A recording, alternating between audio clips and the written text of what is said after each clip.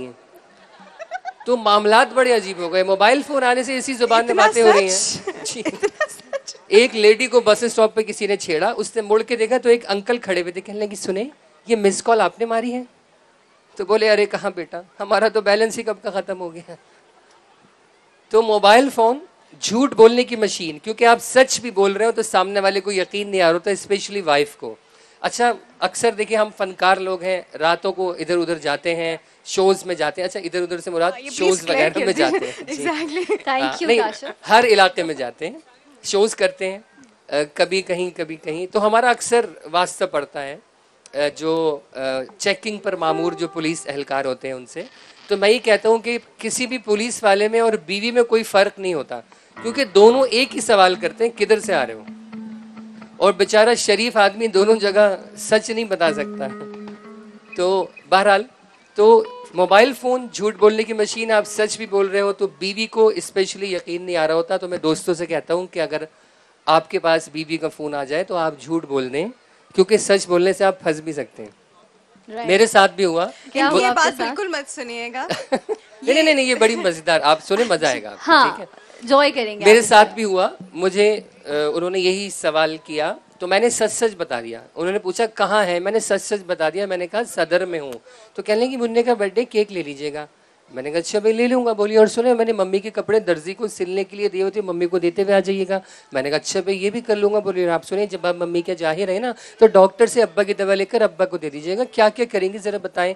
बोला, बेकरी से केक लूँगा, दर्जी से कपड़े लूँगा, कपड़े अम्मी को देकर, डॉक्टर से अब्बा की दवा लेकर, तुम्हारे अब्बा को दवा देकर सीधा घर आ जाऊँगा। कहने लगी सुने मेरी एक ही तो बहन है, उसके दो ही तो बच्चे हैं, उनको भी ले आइएगा। वो भी बर्थडे में शरीक हो जाएँगे। क्या क्या करेंगे, जरा बताएँ? बोला, बेकरी से केक लूँगा, दर्जी से कपड़े लूँगा, कपड़े अम्मी को देकर, डॉक्टर से अब्बा की दवा लेकर, तुम्हारे अब्बा को दवा देकर तुम्हारी बहन बच्चों को लेकर सीधा घर आ जाऊँगा। कहने लगी, सुने, मैं अकेली जान इतना सारा कैसे पकाऊँगी? रस्ते से चिकन टिक्की और सीख कबाब भी ले आइएगा। क्या क्या करेंगे? जरा बताएँ। बेकरी से केक लूँगा दर्जी से कपड़े लूँगा, कपड़े अम्मी को देकर, डॉक्टर से अब्बा की दवा लेकर, तुम्हारे अब्बा को दवा देकर, तुम्हारी बहन को बच्चों को लेकर चिकन टिक्की और सीख कबाब लेकर सीधा घर आ जाऊँगा। कहने लगी, सुने, मुन्ने ने अपनी फीडर का निपिल काट लिया, वो भी ले आइएगा।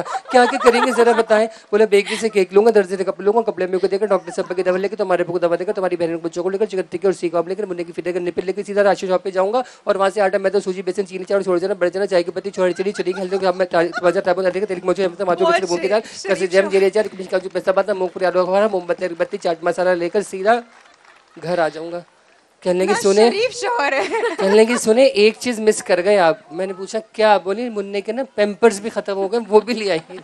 क्या क्या करेंगे जरा बताएँ? बोला आखिर क्या क्या करूँगा? बेकरी से केक लूँगा उसमें जहर में लगा तुम्हारे घर वालों को खिलाऊँगा बाज़ार से रस्सी लेकर तुम्हारी अम्मा को फांसी लगाऊँगा डॉक्टर से जहर का इंजेक्शन लगा तुम्हारे अब्बा को लगाकर तुम्हारी बहन बच्चों को गाड़ी में बिठाकर सीधा राशन शॉप पे जाऊँगा और वहाँ से आटा बंजारा तिलक में छोड़ता मैं तुम्हें कैसे जमझे किस्म का जो पैसा बात मूंग पर याकरो आलू बुखार मोमबत्ती अगरबत्ती चाट मसाला लेकर सीधा गाड़ी समेत समंदर में कूद जाऊँगा समझे?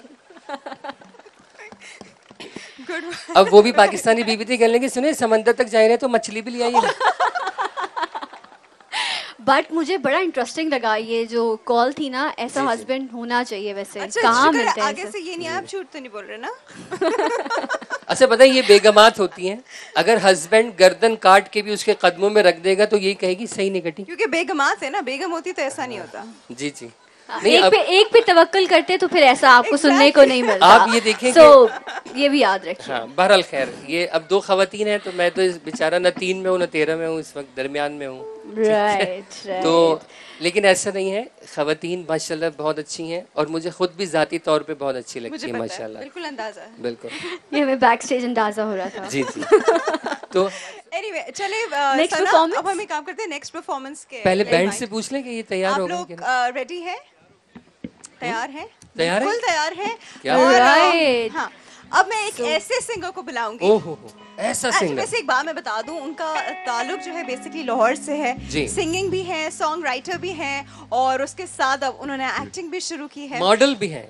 मॉडल भी है। और जितनी उनकी पाकिस्तान में शोहरत है जितने फैंस उनके यहाँ पर हैं उससे ज़्यादा अंदाज़ा मुझे इसी साल अ, मैं एक फ़ंक्शन कर रही थी न्यूयॉर्क में लॉन्ग